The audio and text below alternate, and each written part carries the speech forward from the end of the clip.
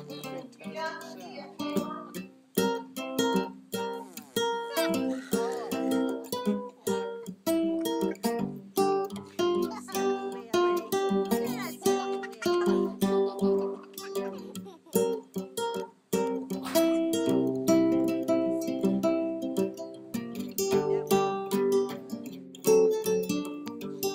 a wiggly worm.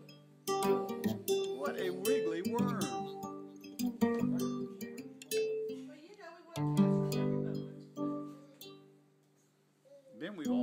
About ten good years left.